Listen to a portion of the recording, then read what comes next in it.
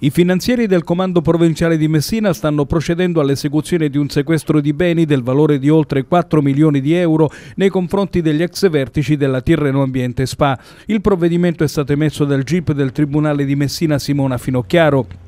riguarda ipotesi di reato di emissione e utilizzo di fatture per operazioni inesistenti e peculato. Le indagini hanno preso le mosse da una verifica fiscale eseguita dal nucleo di polizia economico-finanziaria della Guardia di Finanza di Messina nei confronti della società per azioni a partecipazione pubblica con capitale misto che è incaricata della gestione della discarica di Mazzarra Sant'Andrea. Al termine degli accertamenti è stato rilevato che nel periodo 2011-2013 le casse della società sono state svuotate mediante un complesso sistema sistema di false fatturazioni e che parte del denaro illecitamente fuoriuscito è rientrato nelle tasche degli ex vertici dell'azienda attraverso società in cui gli stessi rivestivano importanti cariche sociali. Più particolare, grazie all'attività di verifica fiscale, è stato riscontrato che la società ha fatto ricorso sistematicamente all'affidamento diretto di lavori, servizi e forniture rivolgendosi o ad aziende che facevano parte della componente privata della società o ad imprese comunque compiacenti, le quali hanno provveduto ad emettere fatture per operazioni operazioni inesistenti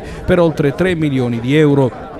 Tra le operazioni falsamente documentate sono stati rilevati servizi di supervisione e di controllo della gestione o attività di consulenza che non sono risultati comprovati da nessun documento che attesti le effettuazioni dell'incarico. Con riferimento poi ad alcuni servizi di fornitura della discarica è stato accertato l'affidamento diretto da parte della società in violazione delle norme sull'evidenza pubblica e con l'applicazione di percentuali di ricarico sulla fornitura di materiali e la prestazione di servizi fuori da ogni logica commerciale. Questa situazione situazione ha consentito da un lato alla Tirreno Ambiente di abbattere i costi di gestione attraverso la contabilizzazione nelle dichiarazioni IVA e imposte dirette di queste fatture e dall'altro alle società emittenti di accaparrare illecitamente denaro pubblico. Al termine delle indagini sono state denunciate otto persone, tra le quali due rappresentanti legali della Tirreno Ambiente che si sono succeduti nel tempo per utilizzo di fatture per operazioni inesistenti e poi sei rappresentanti legali delle società incaricate di svolgere le prestazioni per emissioni di fatture fatture per operazioni inesistenti. Sono state contestate specifiche ipotesi di peculato per un valore complessivo di oltre 3 milioni di euro